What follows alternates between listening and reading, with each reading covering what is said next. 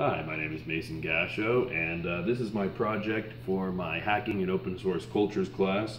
I chose to do a Kodi uh, device using the OSMC operating system on a Raspberry Pi 3 Model B computer. It's lightweight and powerful and compact, and mainly for educational purposes, but for my hacking project, it seemed to do the, the trick.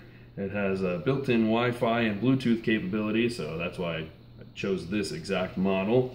I've got it plugged into a little mouse and uh, using the Bluetooth capabilities and the Bluetooth wizard built into the OSMC uh, operating system using a little Apple keyboard, uh, battery powered and uh, connected to an HDMI cable. Uh, I'm to plug that in right now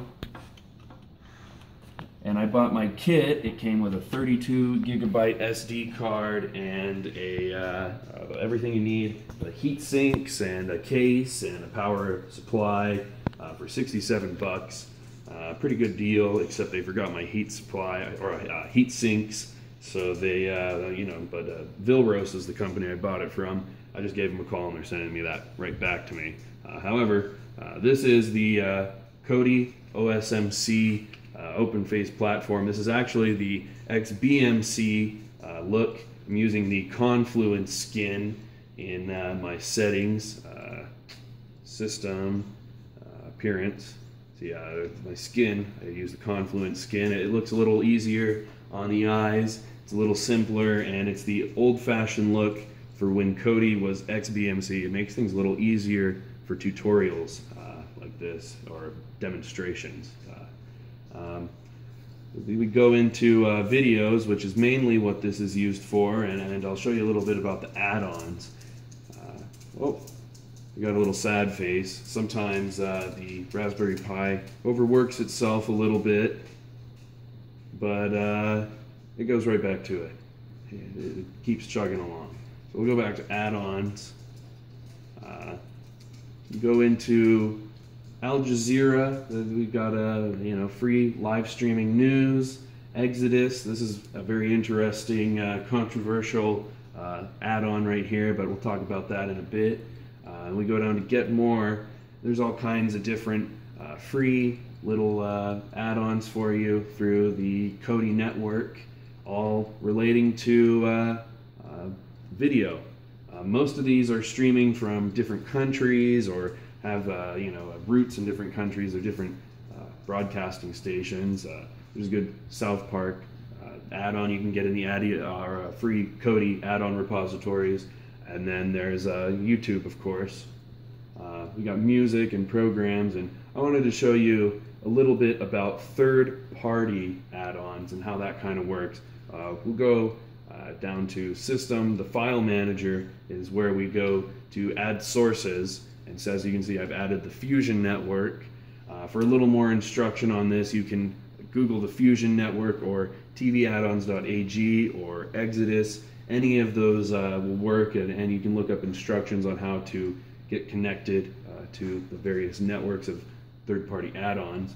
Uh, we'll go back actually to uh, the system and go to our add-on settings,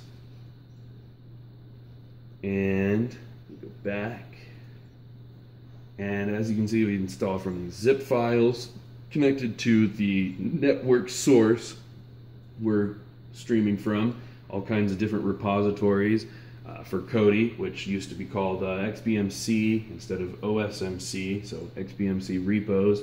There's all kinds of different free streaming content or uh, different add-on repositories. There's a Dolt and uh, international kind, but we're gonna, for our purposes, go to English and uh, we've got all kinds of different uh, repositories with different programs ready for you to install for your OSMC Kodi device. Uh, XBMC Hub is down here. That's one that I've uh, downloaded for these demonstration purposes. Uh, we'll go in, I'll show you a little bit how much how these uh, repositories work. When you install a repository from the zip file, you got to go back and install different add-ons from these repositories that you've now connected to with your device, all kinds of different programs. Uh, some of these are just for restarting and, and wiping your OSMC platform or uh, you know fresh start. That's a good one to download. Uh, that's a third-party app. Now these aren't all uh, Kodi ready apps. You know these aren't uh, supported by the Kodi and OSMC foundations, but they are pretty nifty.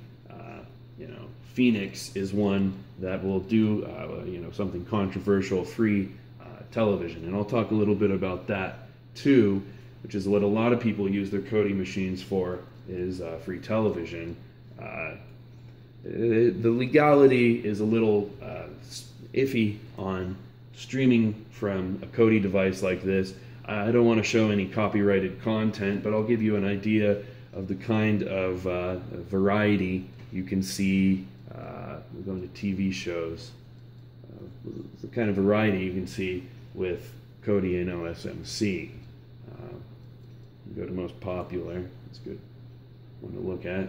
Uh, and it's kind of like having uh, Netflix or HBO or Showtime without having to pay the extra money. I mean, this is all free. Now, the legality of streaming these shows is uh, it's, it's, debatable, but um, you know, a lot of people have been doing it, and uh, Kodi hasn't taken any steps against it. In fact, they they have kind of a neutral stance on the whole idea. So uh, that's my uh, hacking project for hacking in open source cultures.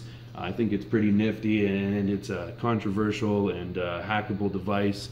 You know, uh, I think it fits the hacker's ethic with free information and, and it has that controversial edge to it uh, that we see with Pirate Bay and hackers of the 21st century. So uh, thank you very much. Uh, and I hope you enjoyed my video and my presentation and my project.